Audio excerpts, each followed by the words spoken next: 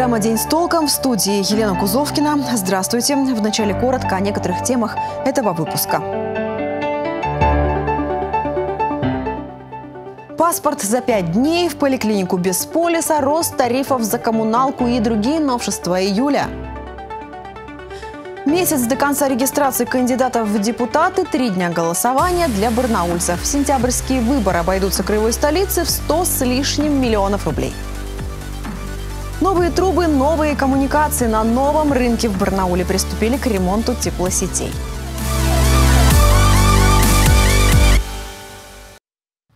С 1 июля в силу вступает множество законодательных новшеств как на федеральном уровне, так и на региональном.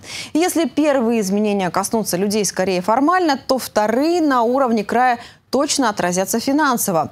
Так, с сегодняшнего дня для жителей нашего субъекта подорожала коммуналка. Самый большой тариф за вывоз мусора. Где стоимость этой услуги выросла сильнее всего и в целом о новшествах июля. Смотрите далее.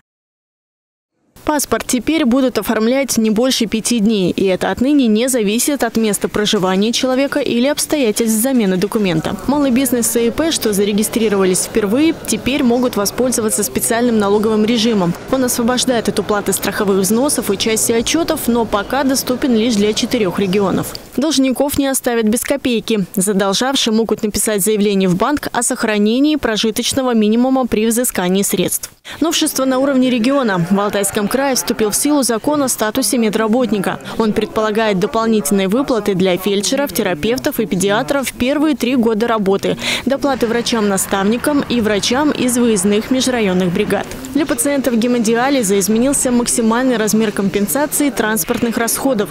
Он будет зависеть от территории и варьироваться от 300 до 2300 рублей. А еще с 1 июля меняются тарифы ЖКХ. Существенно подорожает вывоз ТКО и больше всего для барнаульцев на 25%.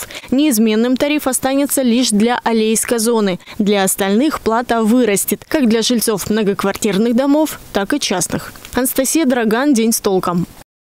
105 миллионов 800 тысяч рублей. Именно в такую сумму муниципальному бюджету Барнаула обойдутся выборы в городскую думу, которые пройдут 11 сентября.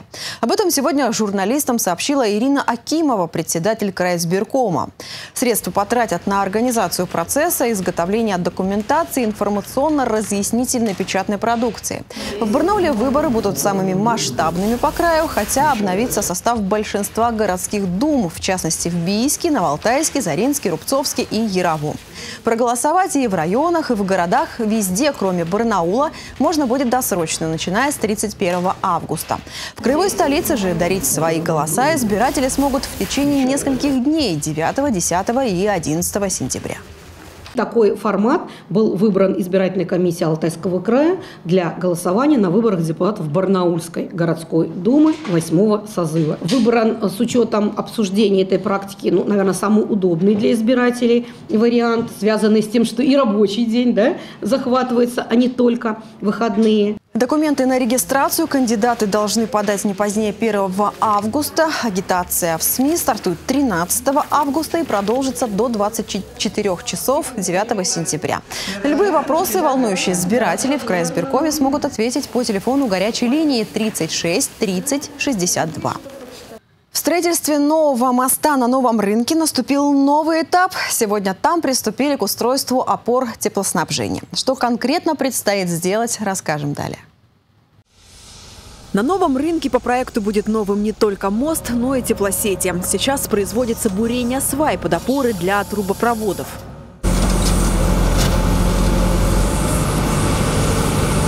Как только выполнены именно опорные части буронабивные сваи, дальше поднимается уже верхняя часть опорная, и потом на нее э, будут монтироваться новые трубы э, теплосети. У нас, напоминаю, задача, что до начала отопительного сезона у нас должна быть ветка теплосети уже по новому чертежу, то есть по новой схеме прохождения быть смонтирована полностью, чтобы жители города от э, ремонта путепровода еще и неудобства в виде там, потерь теплоснабжения не испытали. Поэтому сейчас вот эти работы у нас в первую очередь. концу следующей недели закончат перенос инженерных коммуникаций, после чего приступят к демонтажу оставшихся пролетных строений. Сейчас подрядчик договаривается с РЖД о предоставлении технологических окон. В соглашении будет прописан график работы, и уже после начнется устройство новых опорных частей путепровода.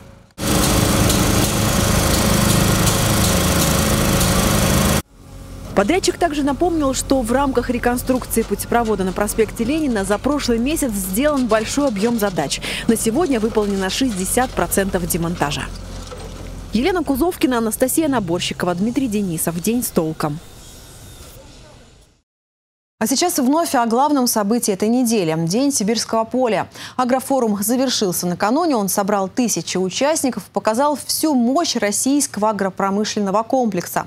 В следующем сюжете моя коллега Ирина Корчагина расскажет, как взаимодействие власти и агробизнеса может серьезно повлиять на развитие города. Алтайскую сельхозтехнику все чаще можно увидеть не только на полях нашего региона, но и страны. Агрофорум собрал тысячи участников от фермеров до представителей власти регионального и федерального уровня. Вопрос импортозамещения и конкурентоспособности стал, пожалуй, главной темой Дня сибирского поля в этом году. Сейчас меры поддержки, в том числе разработано очень много мер поддержки региональных. Это и компенсация на, на оборудование, которое закупается. Это э, сейчас со своими программами предлагается РАЛ, так называемый, это Росагролизинг. Еще ряд э, федеральных поддержек. Там и работа фонда развития промышленности, выделение кредитов по очень низким ставкам. То есть сейчас очень много мер поддержки, которыми можно пользоваться. Важный шаг в импортозамещении – открытие первого технопарка Юг-Алтая, который начали строить в конце 2020 года. Промышленный центр специализируется на производстве оборудования для машиностроения, обработки металла. Интересен механизм работы. Представители малого и среднего бизнеса, которые становятся резидентами технопарка, смогут создавать сложные наукоемкие продукты. Проект поддержали в Министерстве экономического развития. На технопарк было выделено 500 миллионов рублей, 100 миллионов – средства частного инвестора в лице Рубцовского завода запасных частей. Мы э, на сегодняшний день, э, ну, получается так, э, вовремя зашли с этим проектом, и сегодня мы уже, можно сказать, успешно, внедряя, внедряя новые технологии, можем производить те детали и узлы, которые в свое время заводы отрасли сельхозмашиностроения получали как из дальнего зарубежья, так и из ближнего зарубежья. Кстати, технопарк – это не только про импортозамещение. Для Рубцовска, как для города, который долгие годы был промышленным центром региона, это еще и сотни новых рабочих мест. Ирина Корчагина, Александр Антропов. День с толком. На агрофоруме соглашение о сотрудничестве подписали Сбербанк и компания «Комплекс Агро». На что именно направлен новый союз и как будет работать? Далее. На традиционном сибирском агрофоруме специалисты с интересом изучали новинки отрасли и активно устанавливали деловые контакты. Неизменным вниманием пользовался стенд Сбера, участника стратегического партнера форума. Компания представила большое число цифровых сервисов и консультировала по вопросам кредитования, лизинга, агрострахования. Сбербанк является одним из лидеров э, кредитования клиентов агропромышленного комплекса, активным проводником продуктов э, с господдержкой по кредитованию клиентов АПК. За текущий год мы одобрили э, кредитов для клиентов агропромышленного комплекса на сумму 4,2 миллиарда рублей. Один из первых положительных итогов форума – Сбер и компания «Комплекс Агро» подписали соглашение о сотрудничестве. Благодаря совместному проекту один из крупнейших российских производителей сельхозтехники и оборудования сможет заняться дальнейшим развитием производства. Будет создана служба единого окна, так называемая, в которую входят мы как поставщики оборудования. Туда будут входить проектные организации, которые будут э, выполнять работы от э, разрешения на строительство до введения в эксплуатацию. Также туда входят строительные компании и банковская, и банк, э, который будет финансировать. Благодаря сотрудничеству со Сбером у нас э, получится реализовать все задуманные планы. В сотрудничестве со Сбером заинтересованы и многие другие предприятия. Представители компании провели большое число переговоров. Результатом станут масштабные проекты. Особо важная тема для Алтайского края – вопрос очистки и хранения зерна. Ведь именно от его качества зависит конечная стоимость продукта. Один из участников Дня Сибирского поля – компания, в которой знают, как в один сезон окупить вложения в современное оборудование, а в дальнейшем повысить выручку на 20-30%. Сохранить высокое качество продукции и не допустить финансовых потерь? Ответ знают в компании «Технозлак». Предприятие занимается установкой современного зерноочистительного и сушильного оборудования, которое дает возможность максимально быстро очистить и высушить зерновой ворох. При этом исключается влажность и засоренность, а ведь именно эти факторы влияют на конечную стоимость продукции. Именно поэтому оборудование компании «Технозлак» поможет расти вашему бизнесу.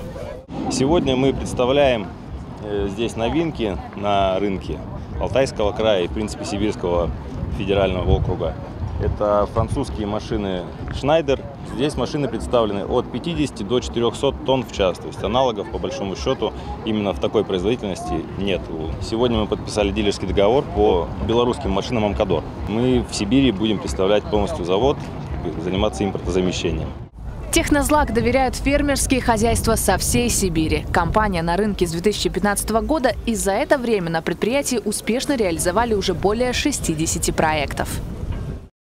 Уникальные препараты для домашних животных на основе стволовых клеток презентовали на форуме. Полезную продукцию в наш аграрный регион поставляют из Подмосковья, и уже десятки фермерских хозяйств успели опробовать препараты и остались ими довольны. Рост продуктивности, профилактика мастита и эндометрита, болезни копыт и другие недуги у животных. С ними нередко приходится сталкиваться сельхозпроизводителям. Использование антибиотика вызывает побочки, а многие импортные препараты на рынке не найти. Компания Кагенес предлагает уникальные лекарства для животных на основе стволовых клеток. Аналогов препарата нет во всем мире. Организм сам должен справиться с любой болезнью, но мы должны ему помочь, дать толчок, дать силу ему. Вот в этом случае как раз препараты активно работают. Это не химия, абсолютно это стволовые региональные клетки. Такие биопрепараты в России используют уже больше четырех лет. Производят их в Подмосковье на предприятии «Навистем». Их эксклюзивный представитель – алтайская компания «Кагенес». Она и поставляет полезную продукцию в наш край. Препарат у нас широкого спектра действия. В основном это сельхозживотные, конечно, в первую очередь. Потому что у нас аграрный край. Это для крупнорогатого скота, для моралов, для лошадей. Ну, естественно, и мы обошли стороной мелких домашних животных, кошки, собаки и прочие животные. А эффект, эффект он довольно-таки очень хороший, и он не заставит себя ждать. Применили уже порядка 20 хозяйств в крае наши препараты, получили очень хорошие отзывы. Опыт применения препаратов Навистем показал, что у животных нормализуется иммунитет, быстро заживает мышечная и хрящевая ткани после травмы и операций, восстанавливаются кровеносные сосуды.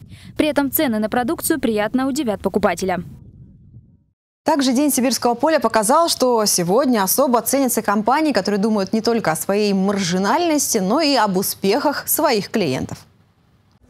Вкладываться в энергию в прямом и переносном смысле. Завод «Электрошкаф» – одно из крупнейших предприятий по производству массовой, контрактной, серийной и ОЕМ сборки электрощитовой продукции.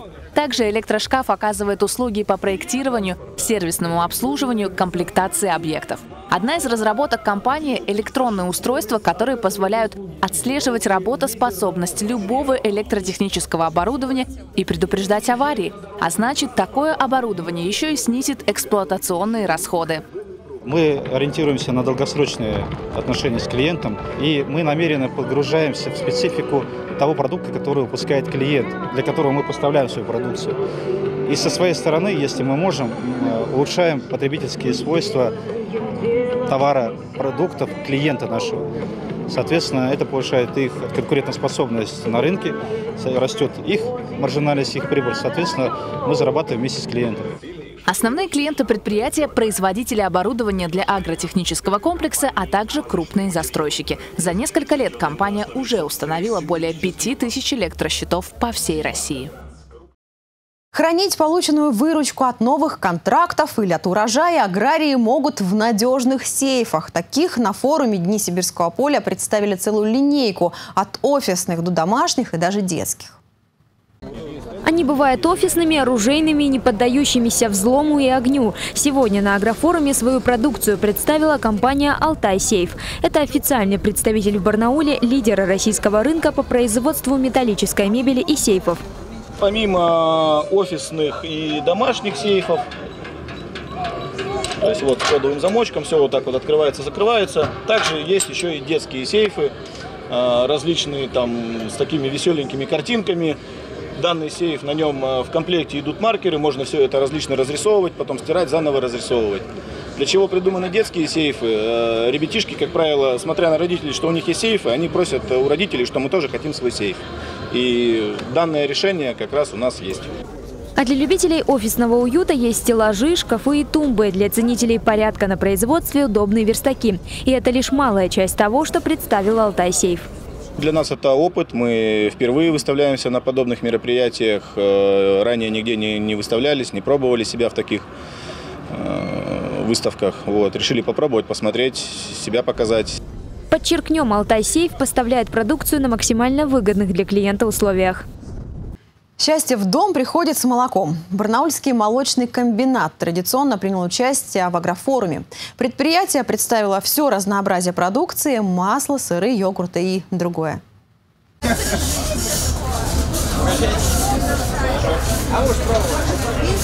Выставка продукции для Барнаульского молочного комбината получилась успешной. В первый же день работы агрофорума продукция предприятия вызвала большой интерес. Гости из разных регионов подходили, пробовали, хвалили. И тут же люди могли запечатлеть себя на память у специальной фотозоны и немного развлечься в игровой.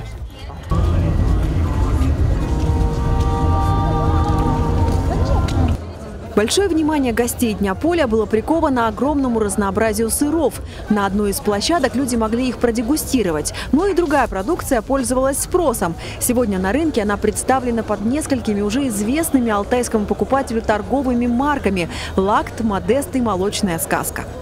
В этом году будет э, обновляться упаковка, поэтому ждите новинок. Изюминка это, конечно, э, в качестве продукта. Изюминка это в том, что мы э, выбираем качественное сырье для своего продукта и относимся к своему продукту с любовью и изготавливаем его с чистым сердцем.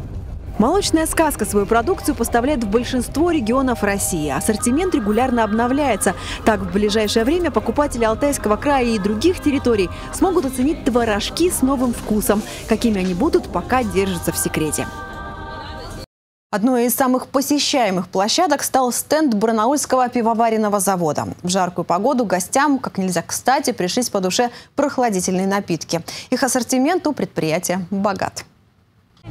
300 компаний, сотни гостей на поле под открытым небом. В летний жаркий день для всех спасения прохладительные напитки. Лимонады, чаи, квас, энергетики и содовая. Все это продукция Барнаульского пивоваренного завода.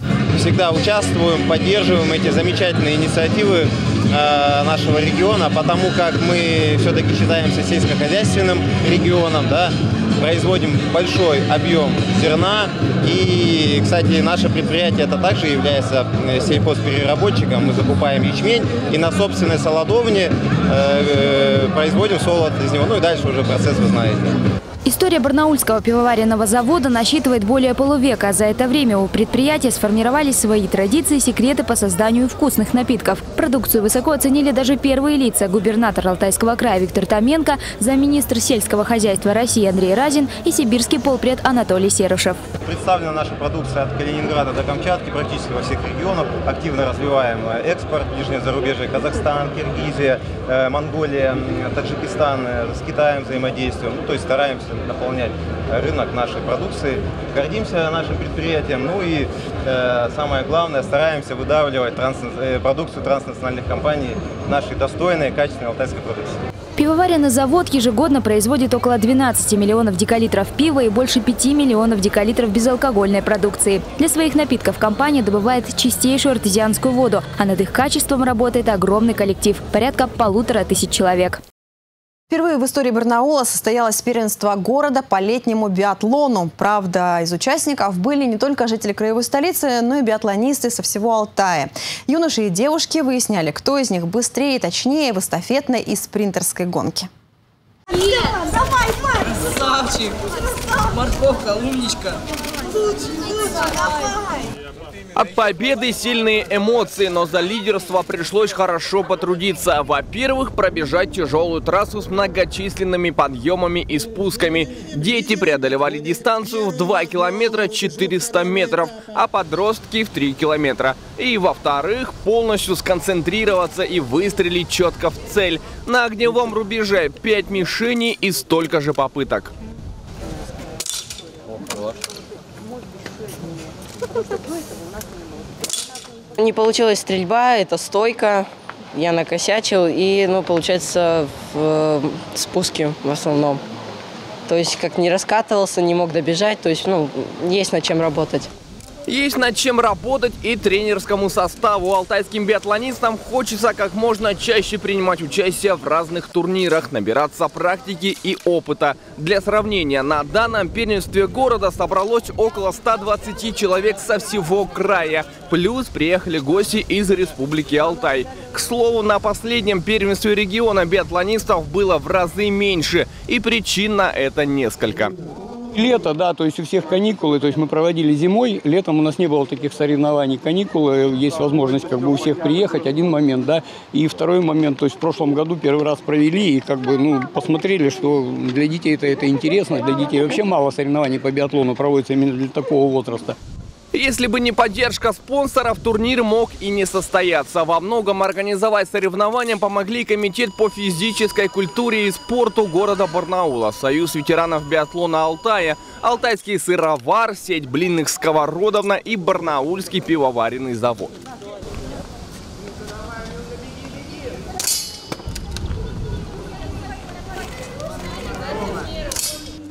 По итогу стартов чаще всего на пьедестал восходили спортсмены из Барнаула, Республики Алтай, Заринска и Ребрихи. После этих стартов биатлонисты немного отдохнут и в конце августа их ждет Кубок Сергея Тарасова в селе Алтайском. Он-то и закроет спортивный сезон биатлонистов.